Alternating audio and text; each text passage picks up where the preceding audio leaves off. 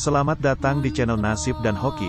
Semoga hari ini membawa keselamatan dan kelimpahan rezeki bagi Anda. Amin.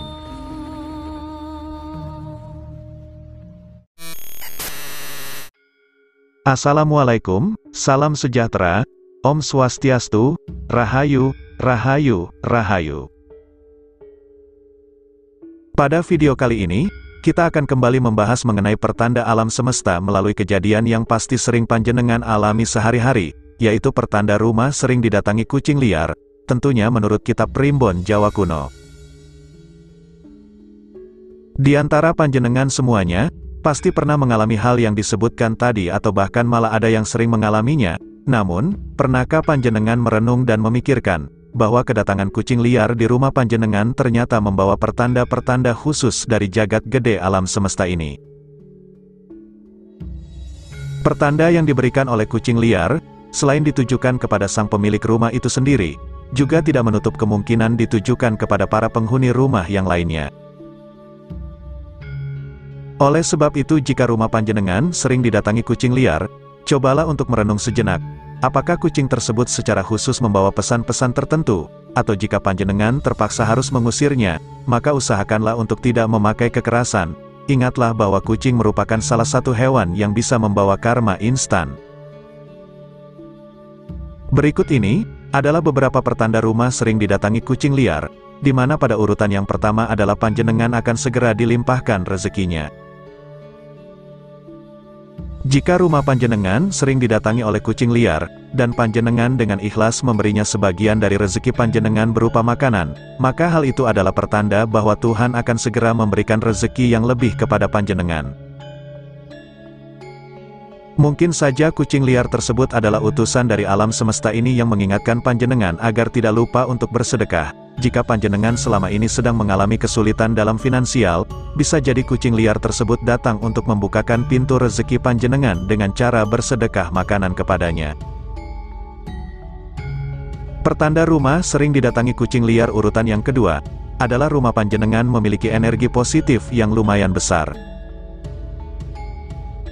Hal ini akan semakin ditegaskan apabila kucing liar yang datang ke rumah panjenengan kemudian melahirkan anak-anaknya. Seekor kucing terutama dari jenis kucing liar, memiliki insting yang lebih tajam jika dibandingkan dengan kucing rumahan, dan ketika kucing liar akan melahirkan, dirinya akan memilih suatu tempat yang benar-benar aman. Kucing liar yang melahirkan di rumah panjenengan, selain karena merasakan adanya energi positif yang bisa menaunginya, menurut primbon Jawa, juga dipercaya akan membawa keberuntungan sepanjang tahun kepada sang pemilik rumah.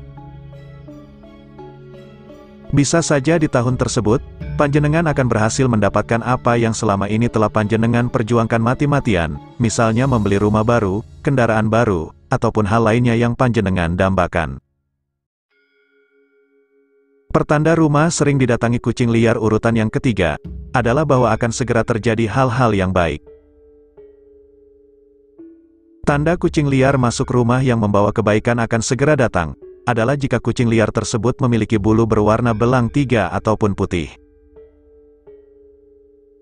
Kucing liar dengan warna tersebut identik dengan berita baik, mungkin panjenengan akan segera menerima berita gembira dari keluarga jauh atau malah bisa juga akan kedatangan tamu yang tentunya juga membawa kabar baik. Pertanda rumah sering didatangi kucing liar yang keempat, adalah panjenengan sedang dilindungi dari pengaruh-pengaruh energi negatif. Jika panjenengan mendapati kucing liar masuk ke area rumah, baik itu di halaman ataupun juga di dalam rumah, namun kucing tersebut terus saja mengeong, bahkan terdengar seperti menangis, maka hal tersebut menandakan bahwa rumah panjenengan dipenuhi oleh energi negatif. Energi negatif tersebut tidak hanya berasal dari entitas tak terlihat yang mungkin menghuni rumah panjenengan, namun bisa juga berasal dari energi negatif orang lain yang menempel. Mungkin saja selama ini panjenengan sudah terlalu banyak berada di lingkungan pergaulan yang toksik. Kedatangan kucing liar dengan perilaku tersebut, selain akan membersihkan energi negatif, juga menjadi simbol bahwa panjenengan masih mendapatkan perlindungan dari alam semesta. Kedatangan kucing liar dengan warna hitam polos, meskipun kucing tersebut tidak mengeong ataupun menangis, juga memiliki pertanda dan arti yang sama, yaitu memberikan perlindungan. Pertanda rumah sering didatangi kucing liar urutan yang kelima, adalah adanya suatu peringatan. Jika kucing liar yang sering datang ke rumah panjenengan dalam keadaan yang sakit, seperti pincang, buta, dan lain sebagainya, maka menurut kitab Primbon Jawa, kucing tersebut memberikan peringatan bahwa ada sesuatu yang kurang baik yang akan segera terjadi. Ketika panjenengan menemui kejadian seperti ini, maka panjenengan sebaiknya mulai mempercayai intuisi hati panjenengan, bisikan nurani panjenengan akan bisa menghindarkan dari hal-hal buruk yang akan terjadi. Kucing liar yang sakit ini, adalah pertanda bahwa akan ada suatu kemunduran bahkan juga kegagalan dalam kehidupan, baik itu yang disebabkan oleh diri sendiri, ataupun juga orang lain. Pertanda rumah sering didatangi kucing liar urutan yang keenam, adalah doa panjenengan akan segera terkabulkan. Jika ada seekor kucing liar apa pun warna bulunya yang masuk ke dalam rumah kemudian duduk atau tidur di atas tempat di mana panjenengan biasa berdoa atau beribadah, maka artinya, apa yang menjadi hajat dan doa panjenengan akan segera menjadi kenyataan. Pertanda yang sama juga berlaku apabila kucing liar yang masuk ke dalam rumah tersebut kemudian tiba-tiba saja duduk di pangkuan panjenengan. Jika hal ini terjadi maka bersyukurlah, agar, doa dan hajat panjenengan benar-benar akan terkabulkan.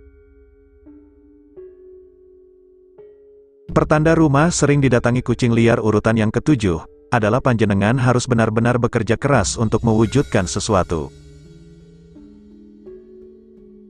Hal ini berlaku jika panjenengan menemukan kotoran kucing liar ataupun melihat kucing liar yang sedang pup di halaman rumah panjenengan.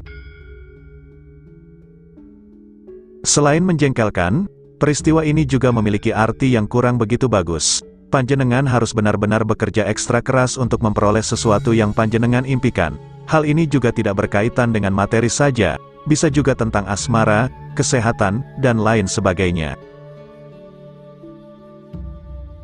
Pertanda rumah sering didatangi kucing liar yang kedelapan, adalah ada seseorang yang akan berkhianat kepada panjenengan.